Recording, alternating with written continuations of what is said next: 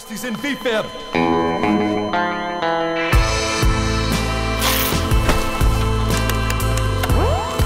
Clear!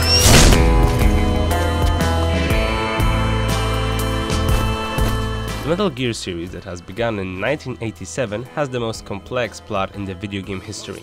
The overall story is as twisted as the mind of the visionary Hideo Kojima himself. There have been dozens, if not hundreds, of fan theories based on tropes and symbols in the previous games. Even the upcoming Metal Gear Solid 5, The Phantom Pain, is already being subject to great theories. Worst of all, it's hard to keep up with the plot as the series is anything but chronological, spans decades of lore, and has graced various gaming systems. In this video, we'll focus on Big Boss, one of the characters we get to play in Metal Gear series and the protagonist of the upcoming game.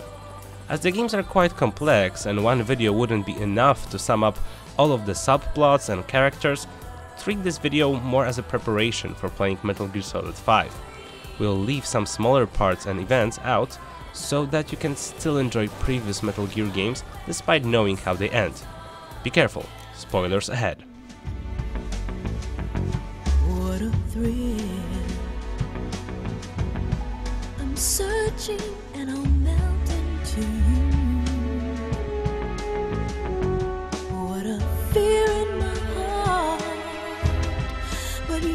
So supreme. Metal Gear Solid 3 Snake Eater takes place before all of the other games. It was here where we got first introduced to Naked Snake, a special agent from the Fox unit tasked with the Virtuous mission. Supported by Major Zero, Paramedic, and Sigint, Snake embarks on his mission.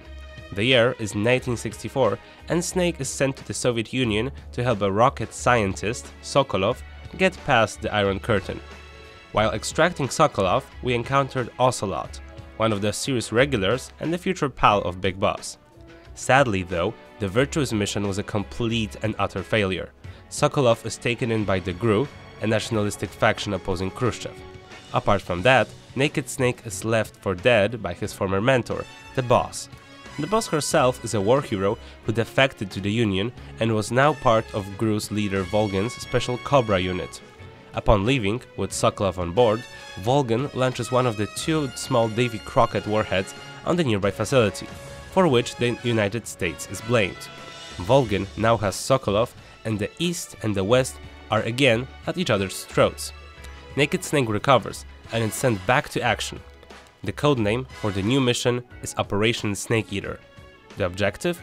Take down the boss, stop Volgin, and destroy the stolen Shagohod, a nuclear-equipped tank and the first Metal Gear. Upon Snake's arrival, he is to be contacted by a double agent Adam, but is met by the mysterious Eva instead. The elusive blonde has infiltrated GRU's ranks, and it seems that she and Snake share a common interest. On their way to Grozny Grad, Volgin's main base, Snake makes his presence known by gradually taking down the squad members of the Cobra unit. Soon after, Snake is captured and tortured by Volgin. When Ocelot tries to shoot Eva after the torture, Snake sacrifices his eye to save her. Luckily, our hero escapes, once again gets patched up, and goes after Volgin. It is revealed that Volgin has access to the Philosopher's Legacy, which makes him that much more powerful. The aforementioned legacy is a large fortune gathered by the Americans, Chinese, and the Russians at the beginning of the 20th century. Snake and Eva get back together, take down Volgin and the Shagohod. In the final encounter with his former mentor, Snake learns that the boss was actually undercover and her mission was to become a traitor to get closer to Volgin, later to be taken down by her own protege. Our hero is heartbroken as he is given the microfilm with the location of the legacy by his dying teacher. Trying to escape, Snake and Eva encounter Ocelot one last time. Snake is forced to a duel of Russian roulette, but it turns out that the bullet was fake. Ocelot, who was actually a double agent, leaves paying his respects to Snake. It seems that the crisis has been averted, and Snake and Eva enjoy a romantic evening after the mission. Snake wakes up alone with the legacy stolen by Eva, who was actually working for the Chinese. Nevertheless, Snake is welcomed home as a hero and awarded the title of Big Boss, the greatest soldier alive. The new boss, however, is bitter and saddened by his experiences. He realizes that governments change and soldiers are nothing but puppets. His change from war hero to a terrorist begins.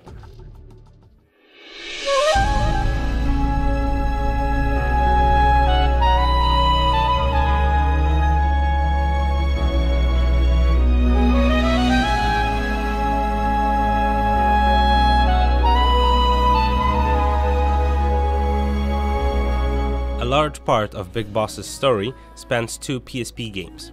The first one, Portable Ops, is set in 1970. For the past years, Big Boss was the leader of the Fox unit, but quit. Our hero is kidnapped by a mysterious group and kept in an abandoned nuclear facility on the San Geronimo Peninsula. He is later tortured and interrogated by Lieutenant Cunningham of the Fox unit he used to lead once. Cunningham wants to know where a part of the philosopher's legacy is, but doesn't get an answer. Later on, Snake becomes friends with a fellow prisoner, Green Beret Roy Campbell, and the two escape trying to contact Snake's former leader, Major Zero. They fail, but soon after learn that both Big Boss and Zero are charged with treason. Our heroes join forces to stop the leader of the new Fox group, Gene, who is a soldier genetically modified to resemble the boss, and has the power to influence both Americans and Russians with his supernatural charisma. During an encounter with Cunningham, Big Boss learns that the whole thing was a setup by the Department of Defense against the CIA. More is revealed when Boss classes with Gene, who is preparing his own Metal Gear, Raxa, for launch. Fox's new leader wanted to control the world through an armed force and create a new one, Army's Heaven. It is also revealed that Operation Snake Eater was actually a big setup. Gene is shot down by Big Boss and on his deathbed gives our hero a microfilm with all of the data for his Heaven project, as he believes Big Boss to be a worthy successor of his idea.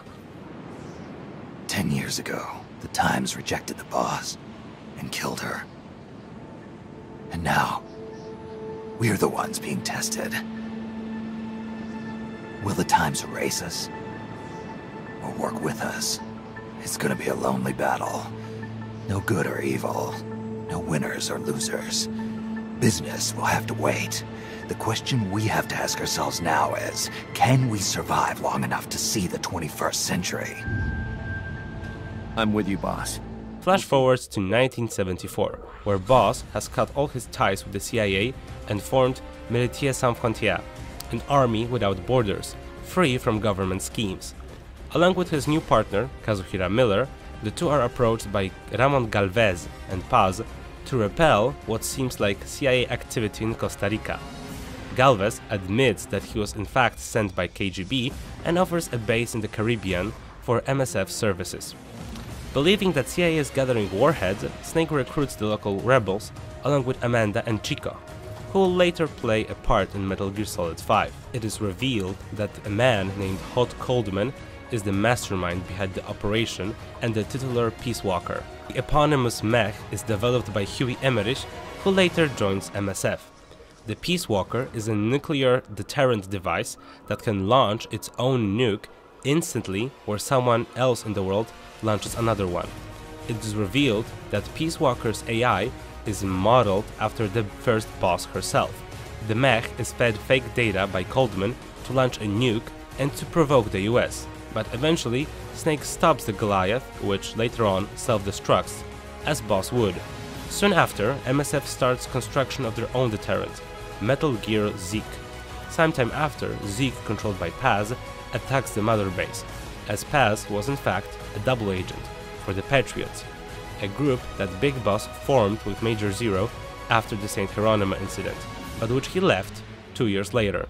When Big Boss was in a coma back then, because reasons, a sample of his DNA was taken for the Enfant Terrible project. In this project, Eva, the one from Metal Gear Solid 5 and another Patriot, became a surrogate mother for Boss's clones, Solid, Liquid, and Solidus, who play vital roles in Metal Gear Solid 1, 2, and 4. Anyway, back to the 70s. Zeke is destroyed and Paz falls down into an ocean. Big Boss continues to run the army for hire, which will later improve upon Gene's idea, and form Outer Heaven. Ten days ago, we got reports that Paz was still alive. She's being held for interrogation at a camp on the southern tip of Cuba.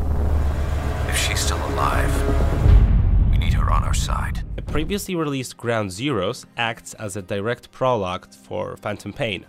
The prologue features a small mission in 1975 on which Big Boss must retrieve Paz from mysterious captors. Miller believes that Paz, who apparently isn't dead, was actually a triple agent and the MSF must go get her. Big Boss also learns that Chico went after Paz but was captured. A mysterious group called XOF is involved with the kidnapping but covers its tracks. Having saved Chico and retrieved Paz, Big Boss sets off to the Mother Base, where a suspicious weapon inspection by the UN is taking place. On the helicopter ride to the base, we learn that Paz has a bomb planted in her body, but the medic manages to get rid of it. Upon arrival at the Mother Base, it turns out that the inspection was actually fake, and XOF forces are attacking MSF. Snake, Miller, Paz, and Chico escape, but it turns out that Paz had another bomb on her, which explodes and makes the helicopter crash. Big Boss falls into a coma once again, from which he wakes up nine years later, at the start of Phantom Pain. draw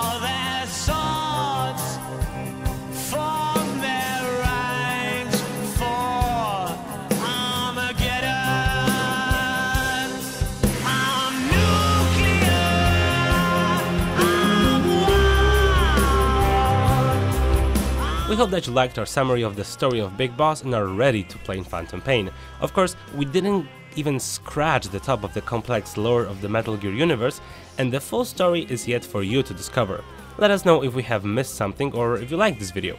Thanks for watching.